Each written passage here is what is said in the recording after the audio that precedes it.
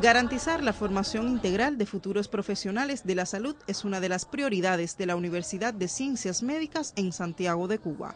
De ahí que la implementación del Plan D para los primeros años de la carrera de medicina en este curso sea una estrategia del colectivo pedagógico en las facultades de medicinas, hospitales y policlínicos para lograr mayor participación de los estudiantes. Este Plan D eh, sugiere o lleva implícito normas muy específicas, sobre todo de calidad. Y es por ello que eh, en busca de esta, de esta calidad de la docencia, este curso tiene la particularidad de que el primer año de las carreras de medicinas de todos los municipios se va a realizar acá en las sedes centrales. Los laboratorios especializados en la enseñanza de la bioquímica, anatomía y biología molecular, así como los laboratorios de computación, se encuentran habilitados para el desempeño de los estudiantes en las prácticas experimentales.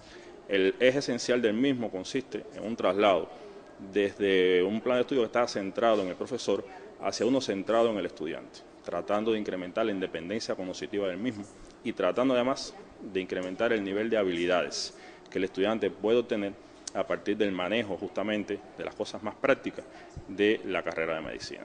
La universidad también amplía el intercambio académico y científico con otras universidades del mundo a través de cursos de posgrados para profesionales extranjeros. Nuestra universidad está abierta al mundo. Y de esta manera tenemos actualmente 143 estudiantes de otros países, estudiantes que realizan estudios de posgrado.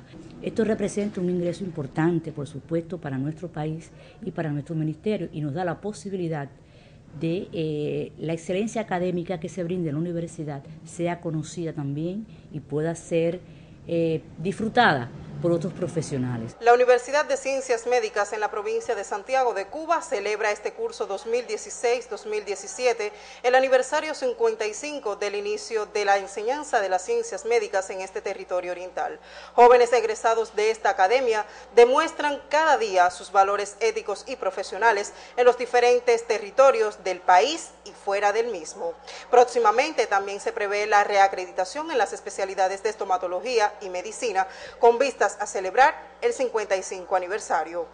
En Santiago de Cuba, Esperanza Castellanos Cabrejas, Sistema Informativo de la Televisión Cubana.